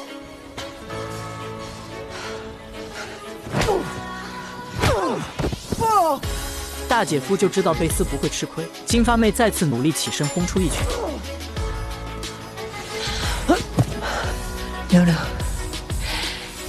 Look at me. 这一拳直接把金发妹给打服了。Return. 李普用牛仔决斗的方式化解恩怨，这一刻两人的怨气也烟消云散。This is my fucking house. You will show me and everyone in it respect. Do you understand? What respect do I get? You get exactly what you give. 经此一战，贝斯终于制服了金发妹，黄石大姐的名号也算保住了。回到餐桌上，看着两人一脸狼狈，老约翰去拿急救箱。为了给贝斯留点面子，他叫走餐桌上所有的人。在他们离开后，贝斯吐出一颗牙齿。还是老约翰了解女儿，如果今天他们不离开，贝斯宁可把她吞进肚子。老约翰心疼地看着李普说道 My daughter. 与此同时，黄石农场迎来了一年一度给牛犊打烙印的季节。可随着时代的进步，牛仔的数量越来越少，整个山谷里都出现人手不足的情况。所有农场主都向黄石农场求助。老约翰作为州长，自然不能拒绝自己的选民。可以说，这个身份给了他很多便利，同时也带来很多麻烦。不过，李普早就为此做好了打算。Yeah, well, I'd brand the whole state. We get that airport land back soon. 随后，老约翰叫来秘书克拉拉，他表示未来一周将在农场办公，取消所有排好的会议。接着又让秘书邀请媒体，他要向世界展示蒙大拿州是如何以畜牧业来生存的。面对这个从不按常理出牌的州长，秘书也很无奈。大姐贝斯听说黄石的人都要外出赶牛，他找到李普，表示自己也想参加，可大姐夫表示那里环境会很艰苦，话语间根本没有带他去的意思。贝斯一听就不乐意了，表示自己会在他们离开后飞到拉斯维加斯，体验一下那里的肌肉猛男。好家伙，李普当场就改变了主意，随后正式邀请贝斯参加农场的放牛活动。Coming and sparing me the misery of being without you. 嗯 Why I don't need you miserable. 黄石的人为了赶牛忙得不可开交，这边杰米却爽翻了天。财阀公司的大美人萨拉每天都对他投怀送抱，白天在办公室里，晚上就去酒店，连他自己都感觉有点不真实。杰米自认为他的魅力不可能这么大，只是见了一次面就能如此深入了解。看到杰米怀疑自己的目的，萨拉也不再隐瞒，原来他想帮助杰米上位州长，然后恢复财阀公司在天堂谷的开发项目，达到双赢的目的。天生反骨的杰米心生动摇，看来他已经准备好再次背叛老约翰。毕竟他觊觎州长的位置已经很久了。特勤局在印第安保留区大肆射杀流浪狗，而这一切只是为了保护即将到来的美国总统。他们竟然认为流浪狗对总统构成了潜在威胁。这边老莫一家正吃着早饭，突然屋内一阵剧烈颤动。老莫连忙走出房间，才发现保留区竟然闯进数架武装直升机。作为部落的安全事务主管，他第一时间赶到事发现场，发现大批武装力量封锁了碎岩区，而且就连酋长都不知道这件事。士兵让他靠边等待。就在他向酋长汇报情况时，却发现有士兵在射杀流浪狗。老莫连忙上去阻拦，却遭到士兵制止。他表示那只是人家养的宠物，并不是流浪狗。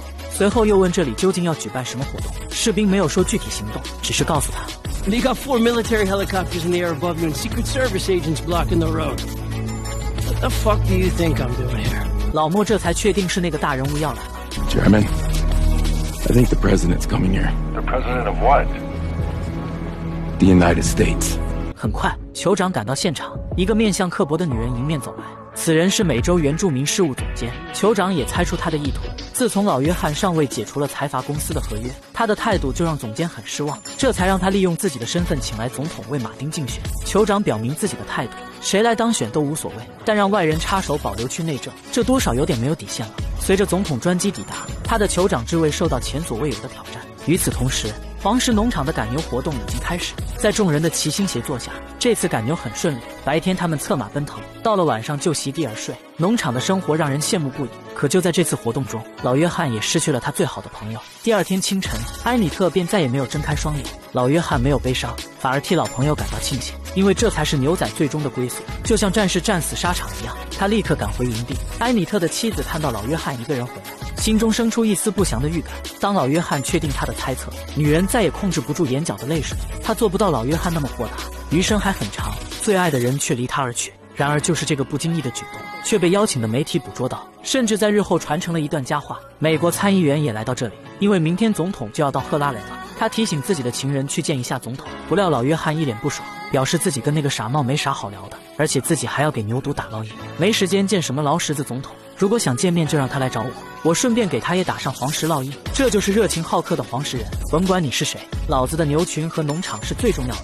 作为皇室唯一有经商天赋的大姐贝斯，给老约翰算了一笔账：皇室农场现在常年处于亏损状态，也就是说，现在的农场除了情怀，他们一毛钱也赚不到。市场上一斤牛肉的价格大概是三十左右，而皇室现在沿用的是一百年前出售整牛的商业模式，一斤还卖不到两块钱。此消彼长之下，皇室农场都不用外力入侵，自己就得宣布破产。再加上今年的赶牛活动出现问题，牛仔们发现很多野生牛犊死于布鲁斯菌病，这种病毒对牛群有着毁灭性打击，他们必须远离这些有毒牧场。因此，老约翰决定将牛群赶到南方，这样就不用因为病毒而发愁。可代价却是每个月支付一百四十万的租地费用。为了牛群，老约翰不得不去贷款。这种老套的方法让贝斯很头疼，一年一百四十万他都不会接受，这明显就是亏本赚吆喝的买卖。他下定决心为黄石找到一条合适的商机，而最直接的方法就是询问近期发展良好的四六牧场。贝斯发现他们的牛肉都是在网上统一销售，而且早早就卖完了八百万磅牛肉，价格也比正常销售模式要高。毕竟原生态牛肉很受大家欢迎。这条消息如同晴天霹雳，让贝斯茅塞顿开。他立刻找到父亲，可老约翰却表示包装就是个大难题。That is because you are not a businessman, Daddy. You are a rancher. I am a businessman. and I have spent my career making 50, 100 million dollar deals for others.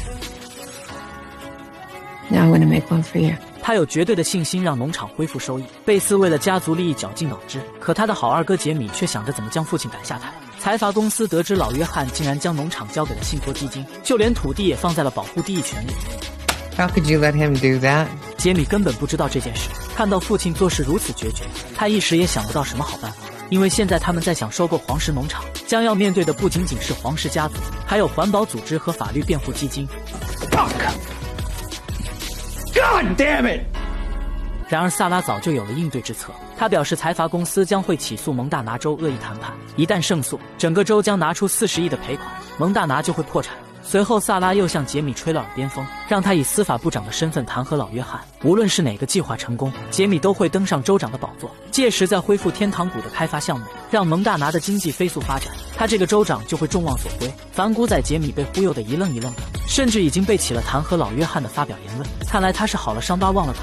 要是让贝斯知道这件事，他的好日子也就算过完了。顺便给大家辟个谣，黄石农场每一个烙印牛仔都是烫上去的烙印，可没有纹的，甚至还有粉丝说是画的。不要问我咋知道的，因为大姐夫离谱就是这么告诉我的。反骨仔杰米隐忍半季，再次出手。这次他要攻击的对象是抚养自己成人的老约翰。他在弹劾大会上直接指出养父的渎职行为，以及恶意取消天堂谷的机场开发，给蒙大拿带来巨额赔款，导致经济倒退几十年，还控告他违反了自己任职实力下的誓言。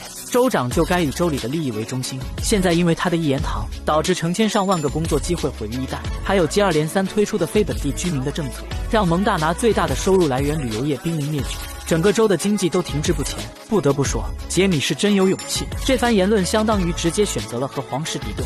A Senate tribunal seeking impeachment。然而此时的老约翰还不知道自己已被弹劾，他和参议员正在为印第安酋长站台。他们要全力阻止两条管道通过碎岩区，因为这不仅会影响保留地的饮用水，也会对蒙大拿的生态环境造成破坏。这时，助理看到州长被弹劾的消息登上热搜，场内一片哗然。直到有人递上手机，老约翰才知道发生了什么。现场的媒体纷纷上前看州长如何回应。老约翰告诉他们，应该以环境保护为大局，弹劾的事情自己会去处理。随后便离开了现场。回去的路上，秘书表示杰米的说法根本没有依据，整个弹劾过程都是他自己通过一下。但老约翰却有另一种看法。因为真相不一定能得到胜利，只有利益才会。他知道这次的天平已经不再向自己倾斜。与此同时，在黄石农场里的金发妹给贝斯看了一条视频，看到杰米一脸欠揍的弹劾父亲，那血压蹭蹭往上窜，就差拎着四十米大砍刀直接给他劈了。直到他看到杰米的支持率为百分之六十七，老约翰成为了蒙大拿第一个被弹劾的州长。That motherfucker！本来他想找离谱去解决此事，但大姐夫正要带着牛仔们去德州放牧，贝斯只能用自己的手段。他连夜赶到杰米家门口，杰米通过监控看到是贝斯，心头一颤，立刻穿好衣服下楼。他知道这次贝斯绝不会放过自己。杰米仗着自己的力气比他大，想将他赶出家门，不料贝斯上去就是一板砖，然后警告杰米，让他明天召开新闻发布会以就辞职，否则自己就把他杀害生父的照片传到网上。本以为杰米会因此害怕，不料他根本不在乎。How many bodies is your father? put in the same spot. Turn me in, you turn him in. Have you thought this through? 贝斯听到差点惊掉下巴，他以为杰米上次的抛尸地点是随便选的，殊不知那个峡谷隐藏了皇室家族一个世纪的秘密。杰米跟他全盘托出。Ask him. Ask your husband where the train station is and how many times he's been there. You want to know the real price for protecting the ranch? 紧接着他又说自己这么做都是为了农场着想，因为传统的销售渠道已经过时，只有让财阀公司在天堂谷建立机场，将蒙大拿开发成旅游城市，黄石的利益才会最大化。作为商人，他说的这些贝斯都懂，可他将老约翰作为攻击对象，那就不能怪自己手下无情。Okay. So it's war. War's over, Beth. No, Jimmy. War's just beginning. 出来后的贝斯立刻返回农场。此时的老约翰可以说墙倒众人推，这次的弹劾事件登上热搜。上次农场射杀野狼的事情又被扒了出来。正在几人商讨如何应对时，贝斯出现了。Maybe you should take him to the train station. 外人根本不知道这意味着什么。老约翰知道瞒不住了，便让参议员和秘书回避一下。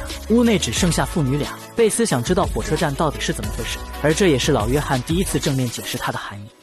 It's the trash can for everyone who's attacked us. It lays in a jurisdictional dead zone in a county with a population of exactly zero, hence no jury of your peers and no court for a change in venue. Why are you so surprised? 贝斯越听后背越发凉，因为杰米也知道这件事，而且他现在也有想法拿此事做文章。一旦让他得逞，别说州长的位子不保，整个皇室农场都得受到牵连。贝斯动了杀意。 There is a place our enemies go and nobody ever knows they went, and they will never come back. And I think that's the place for Jamie. What do you think, Daddy? 虽然杰米是他的养子，但老约翰倾注的感情不亚于其他几个孩子。对此，他选择了沉默。与此同时，被打的杰米感觉到贝斯的眼神充满杀意。I think she'll try to have me killed. 为了以防万一，他询问萨拉有没有什么杀手或者组织的联系方式。从小到大，贝斯都压自己一头，这次他想把主动权握在自己手中。对于这种事，萨拉略知一二。他知道有一个组织可以在干掉目标后伪装成意外事故，只要说出他的意图，剩下的事情交给自己去办。至此，杰米完全走到了皇室对立面。他选的这个时机很完美，正好赶上大姐夫离谱带着牛仔们去德州放牧，短时间根本赶不回来，是皇室最虚弱的时候。不过好在海豹出身的凯哥搬回农场，弥补了离谱不在的问题。接下来就让我们拭目以待。一边是有财阀公司支持的杰米，另一边是底蕴十足的黄石农场，究竟谁能笑到最后呢？